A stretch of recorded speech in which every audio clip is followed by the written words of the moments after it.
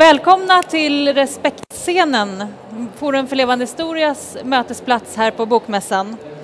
Forum för levande historia är en myndighet som jobbar med frågor som rör mänskliga rättigheter och alla människors lika värde på olika sätt och med lärdomar från Förintelsens historia. Sedan början av året så har vi en satsning som vi kallar Prata rasism, som ni märker här ovanför. Och där samlar vi kunskap, aktiviteter och olika material för att på olika sätt skapa förutsättningar för kunskapsbaserade samtal om rasism. Och det är just det som de olika samtalen på den här scenen de här dagarna också handlar om. Eh, vi filmar och tar upp ljud från det här samtalet. Vi filmar bara det som händer här på scenen, men om det är någon som absolut inte vill synas på bild så rekommenderar vi att ni inte sitter allra närmast scenen. Jag heter Bodil Sundén och jobbar på Forum för levande historia.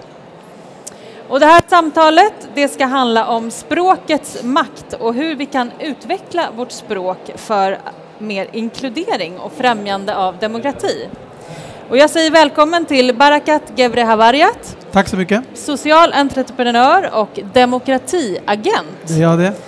Kan du börja med att säga några ord om dig själv och vad, vad innebär det att vara demokratiagent? Uh, jättebra fråga. Mitt namn är Barakat Gabrahariat, Jag är 36 år. Uh, jag uh, arbetar med demokrati och inkluderingsfrågor utifrån ett kommunikationsperspektiv. jag kallar mig för demokratiagent för att för mig är det alltså den enklaste definitionen är en görare av demokrati. om man vill ta det till nästa nivå, en rättvis arkitekt. Men framför allt så vill jag lägga fokus på just görandet. Jag tyckte att när jag uppfann titeln demokratiagent att det pratades väldigt mycket i relation till hur, hur mycket det gjordes. Eh, jag tyckte också att eh, det, vore vikt, att det var viktigare att eh, rama in frågorna utifrån ett demokratiperspektiv. Eh, det var många luddiga begrepp som eh, integration och tolerans som dominerade samtalet då och jag, jag var på en språklig nivå kritisk mot dem för jag tyckte att de var, de, var de saknade en maktanalys och de var väldigt eh, lite trötta på något sätt. Jag kände inte att de ringade in problematiken. För mig handlar diskriminering och eh, rättvisa, eh, den bästa rubriken är demokrati. Så därför tog jag det begreppet, mm. den titeln, demokratiagent. Ja. Du sa här innan samtalet att du, du använder språket för att bättre förstå samhället. Mm. Vad, vad menar du då? Ja, alltså, jag är, man ska komma ihåg att jag är en språknörd. Eh, elaka tungor skulle kalla mig för språkpolis till och med.